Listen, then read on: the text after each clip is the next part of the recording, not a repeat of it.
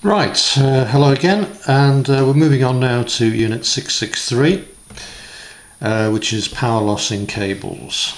And um, you remember from Ohm's law, the Ohm's law triangle, and then we had the power triangle as well. And from here we know that V equals IR from there, and we know that P equals I times V from the power side. So if we uh, substitute uh, V on this side for what's on this side, so I could say that power equals I times, well if I have it as IR, because I know that V equals IR, times I times R. And from that we get I squared R as power. Well, this formula is actually a very, very important formula in electrical engineering because it explains all our power losses in lots of situations, either in cables, overhead lines, it can explain losses in copper windings. If we know the current that's going through a winding and we know its ohmic resistance, we can work out how much power is going to be lost in that winding. So it's an extremely important and very useful formula, I squared R. And we often talk about things like I squared R losses in situations, in circuits. If you hear someone talk about the I squared R losses, you now know what they're talking about. So power equals I squared R and the unit is the watt. As you should remember from uh, your 662 course. Right, so um, where's that useful in cable situations? Well, if we have um, a load here, and that's supplied by a piece of cable, live, and a neutral. Now this could be our substation here. And say this current draws say 100 amps. So there's 100 amps going down the, new, the live and 100 amps coming back to the neutral, backwards and forwards, 50 times a second, 50 hertz. But for the purposes of this um, demonstration, let's just assume it's uh, going in the same direction. Right, so we have effectively a resistor here which represents the resistance of the neutral cable. I'll call that Rn. There's our load. And we have this is the resistance of our neutral. Sorry, that should be live. RL and RN. And effectively there we've got three resistors in series.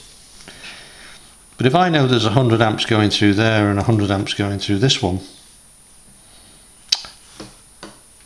I equals 100, I equals 100, and we know that in a series circuit the current remains the same all the way through. If I know the resistance of this conductor by measurement or by calculation, Say for example, uh, the resistance of this piece of cable was 0.02 of an ohm and this was 0.02 of an ohm. I can work out the power loss in that cable from I squared R. So I squared RL, I squared R neutral I've got 100 squared.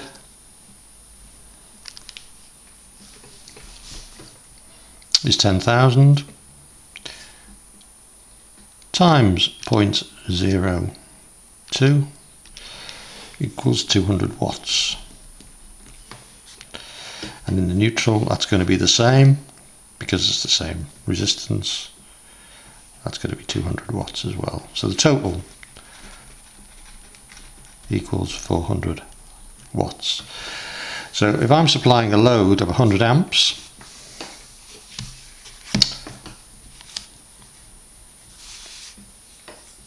with this cable, each of the conductors is 0.02 of an ohm.